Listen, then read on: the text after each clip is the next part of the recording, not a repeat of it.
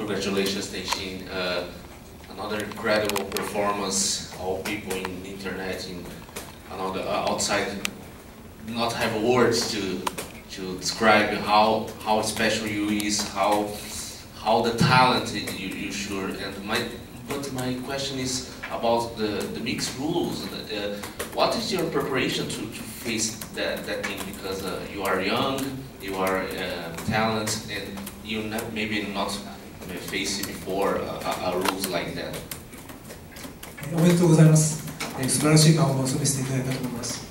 で、もうやっぱり海外でもあの天使先生がどれだけスペシャルな存在か、どれだけ才能があるかということが話題になっているんですけども、私が今回質問したい内容としては、このミックスルールっていうのに対してあのどういう準備をしたされたのかということですね。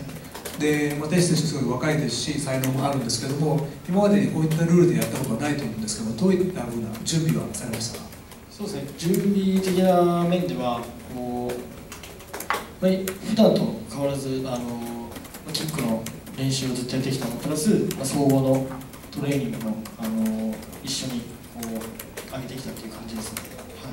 はい、あとは別に、まあ、あとはまあミットでちょっと5分やったりとか、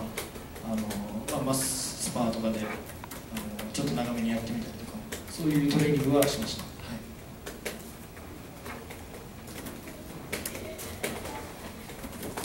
い。Did you have a, uh, do you want to, to fight in Rising this year again? また今年ライジンで戦ってみたいと思われますか？そうですね、本当にこう今あの、一番日本で盛り上がっている格闘イベントは大臣だと思うんで、本当に、なんですかね、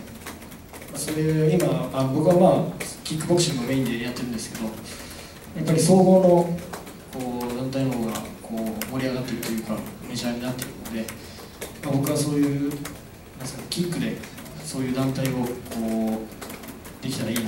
と。ライジンがそういう舞台にキックも MMA も両方すごいんだぞっていう舞台になればもっと格闘技界が盛り上がると僕は思ってます、